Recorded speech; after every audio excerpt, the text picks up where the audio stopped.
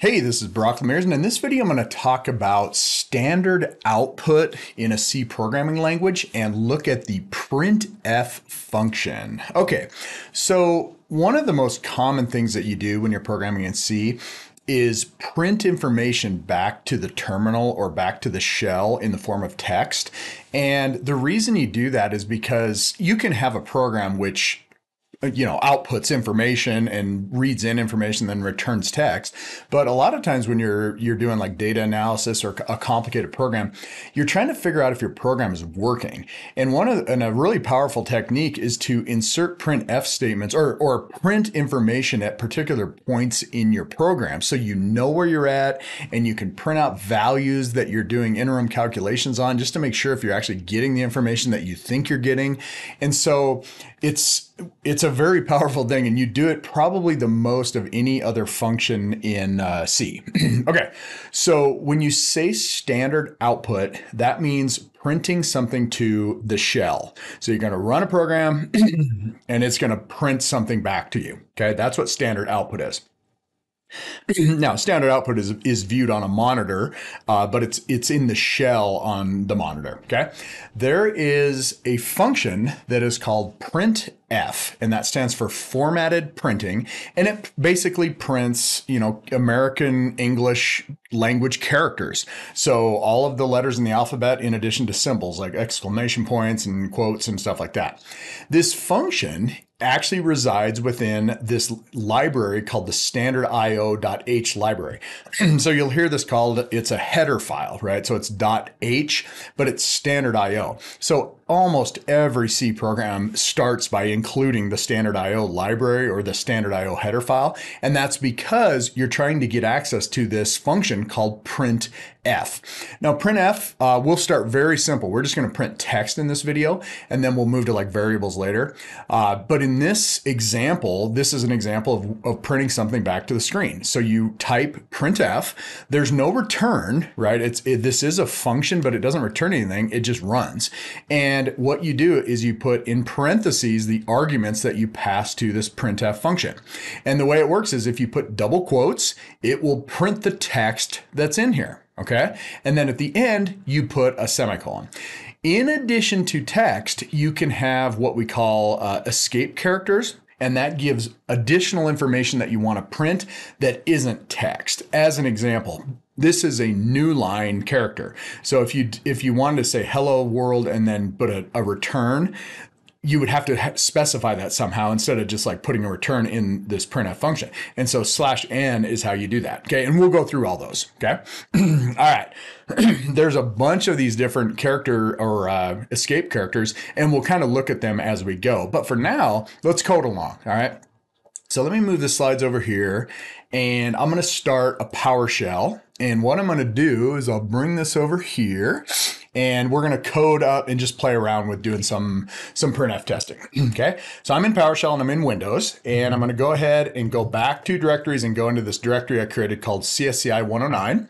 So I'm in Windows at C colon CSCI 109. So that's my Windows default that I start in this code along. I'm going to SSH over into the CSCI server. So I'm going to up arrow because my history is going to probably have SSH in it. And there it is. SSH netid at cs.sci109.cs.montana.edu. I oh hit return. I type in my password. And I'm in. Okay. So I'm going to take a look at where I'm at. So I do an LL and it's like, okay, so there's some of the stuff that I've been messing around with.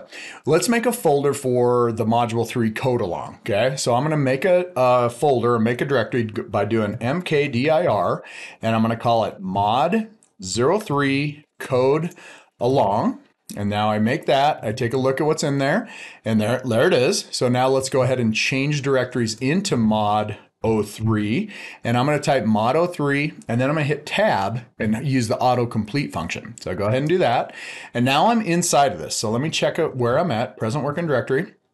Okay, mod 3 code along and I'm good to go. So let me clear the screen and now I'm ready to do some coding. So what I'm going to do is I'm going to create a file that's called print underscore printf underscore testing dot c and i'm going to do that with vim so i'm going to go vim and then I say print f underscore testing dot c, and now I'm in my program code. All right, so here is my program. So what I'm gonna do is I'm gonna move this up here so you can kind of see it. And we're gonna bring an, another terminal online to do our compiling and we'll do that once we're ready to save. All right, so let's let's since we're just coding along, let's go ahead and get into insert mode by hitting I. And now I'm in the insert mode which allows me to type. So I'm going to start with a comment header and this isn't an assignment, so we'll just put a uh, like test testing of printf and I'm basically kind of following along with the example that I typed in the slides, but I'm doing it in real time so that you can code along kind of at the same speed. So I do a multi-line comment, but I'm really not using multi-line, so I just open it and close it, no big deal. And then the first thing I'm gonna do is in the pre-processor section, meaning that it's the area between the comment header and my main function, I'm gonna put an include uh, statement, okay, or directive. So I do this, I go pound include, and then I give it stdio.h. What I did there was I brought in so brought in Stan Anderd IO header, oh boy, header file to use printf. Okay, so printf is a function in that, in that header file. Header file and library are terms that are used kind of interchangeably, and so some people will always call these these uh, library files. Some will call them header files. Some people technically say you have a set of header files within the library. Whatever, it's just includes standard io.h. okay, so now we're ready to create our main function. So here's what we do: int main void, and then open a curly, and then here's what I do every single program. I come down here a couple returns. I say return zero because that's what's going to return when it's done. And then I close my curly bracket and now I have my shell for my main program. Okay. So let me uh, delete a couple lines there. All right. So I go ahead and get into command mode to save this and I put colon write and now I have my file. So at this moment in time, I have a, a file called printf underscore testing, and I'm ready to basically write some stuff. So let's just do the most basic thing we can do. I'm going to go back into insert mode by I hit escape to get into normal mode in Vim. Then I arrowed up and then I hit I to get into insert mode, and I'm going to hit tab, and tab goes over four spaces. And I'm going to put a uh, let's put a, a, line header that says testing some, or let's do playing with printf. okay, so here's what we're gonna do. Type print f and then open curly and then do some stuff about me. Close it. Okay, so there we have it. I didn't put any escape characters in there because I want to show you what this looks like. All right, so now I have this and it's printf and it's going to print that out in, in theory. So let's now compile this. So I'm going to bring over another PowerShell window and I'm in Windows right now. So I'm going to go back to directories and then into my CSCI. PowerShell is pretty cool because if you get the, the direction of the slashes wrong, it auto automatically corrects it. So I don't even try to like type in the backslash. I always type forward slash and it just corrects it for me. So then I can type the slashes just like I'm in, in Linux. All right, same thing. I'm going to SSH over into the CSCI server. So I up arrow to go through my command history. There is my SSH command. Life is good. I hit return, password. Can't talk while I type my password or I'm messed up. And now here I am. So I look at host name. It's like, okay, I'm over on CSCI 109.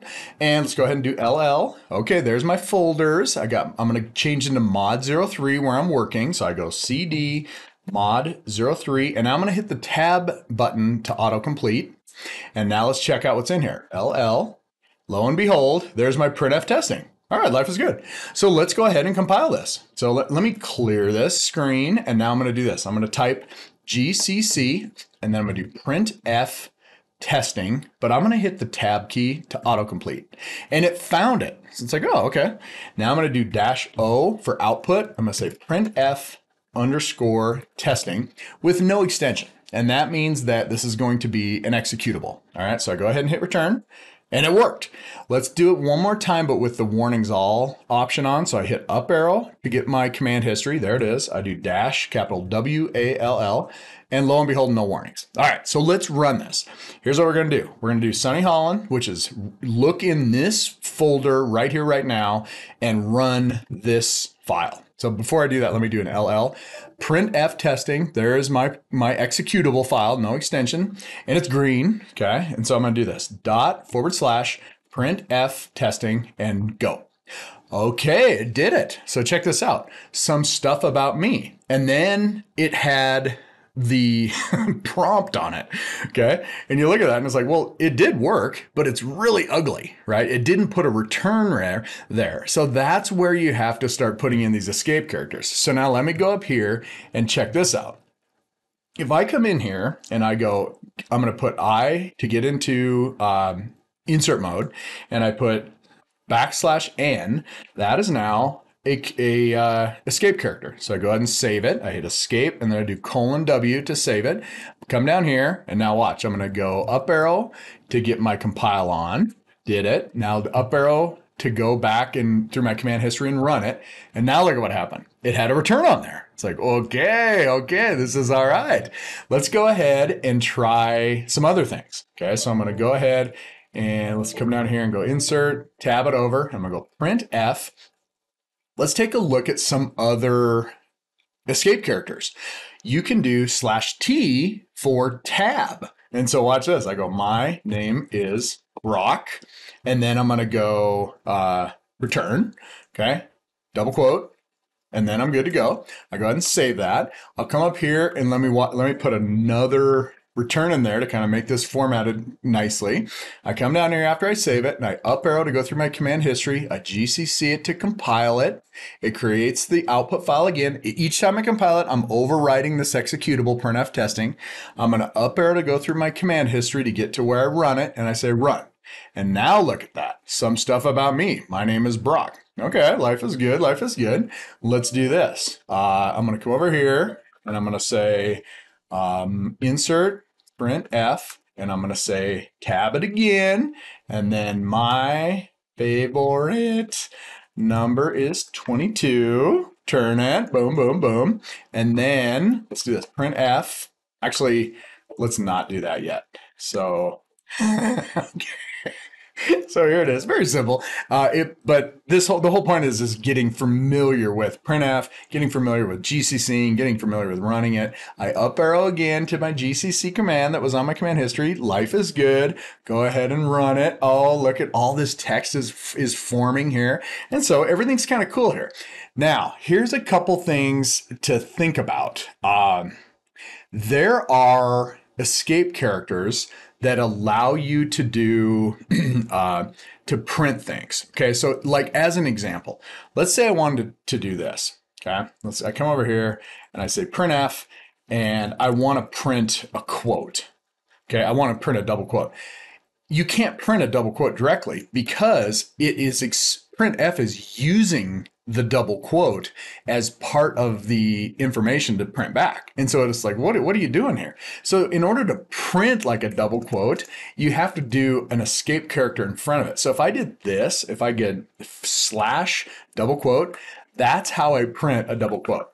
okay. So let me, let me, uh, here, let me, I'm gonna do this.